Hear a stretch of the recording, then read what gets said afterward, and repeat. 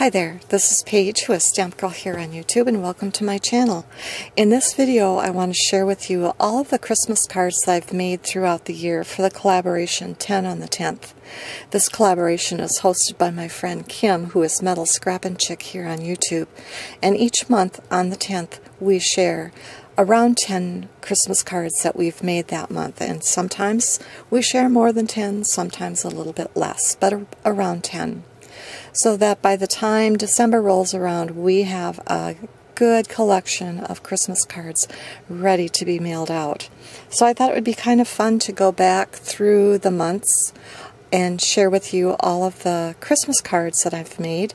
And if you're interested in learning more details about any of them, just go back to my channel page and look for the video. So um, recently I shared with you my December cards.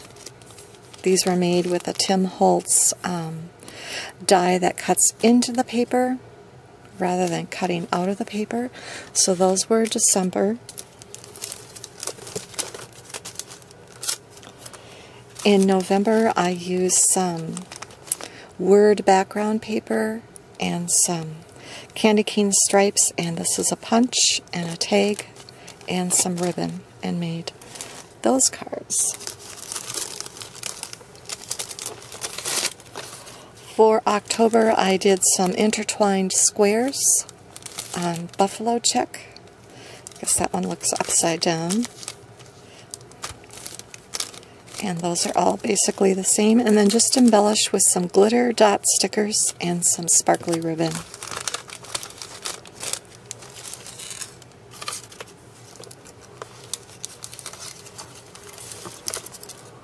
September, I made some little square cards. Uh, not quite square. These were five, yeah, I guess they were square, five by five. And these featured um, some felt embellishment pieces that Stampin' Up! used to sell, and they were gifted to me by my friend Linda and when I ran out of those, I pulled out some felt flowers from my stash.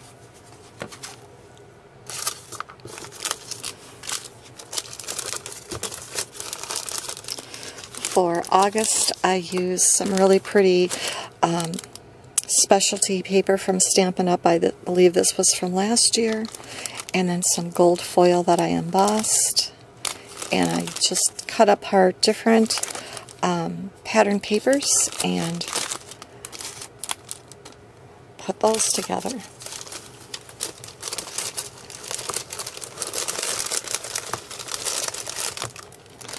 And for July, I used a little die to cut out these little coffee mugs and just did a lot of layering and a lot of popping up with dimensionals.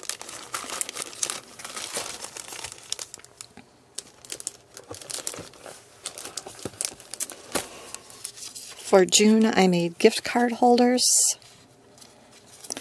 And the gift card goes into the slot here. Just different patterns of paper.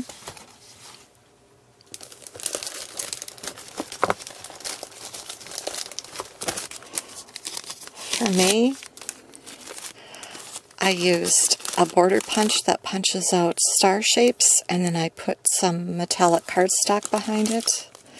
These all turned out a little bit differently. Um, there again some specialty paper from Stampin' Up. Some things I embossed, some were little um, pieces that came in the collection or suite. Let's have those.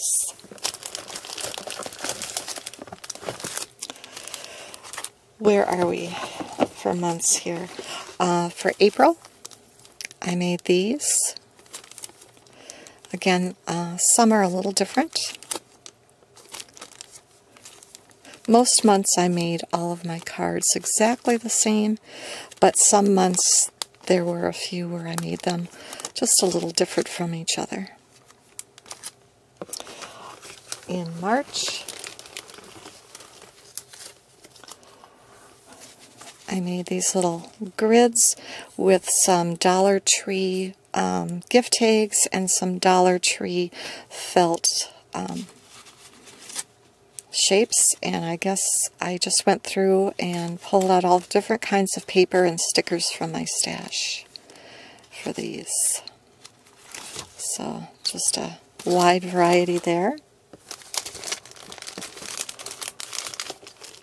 February, I used some more specialty paper from Stampin' Up, which means the paper had foiling accents on it.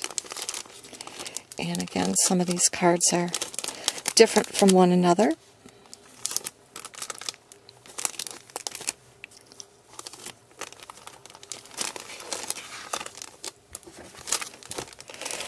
And then um,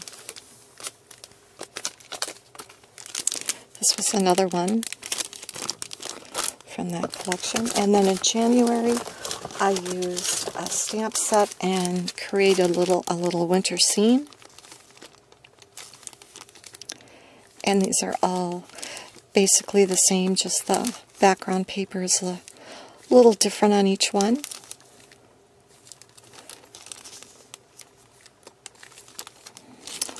So some of you might remember some of these cards if you've been following me along all year, but here is my pile of cards that's falling all over a whole year's worth of cards, 10 on the 10th. And each month I made at least 10 cards. Some months I made more. So yeah, I'm ready for sending out Christmas cards this year and probably for some future years as well. I'd like to thank you for joining me. And now I'm off to create.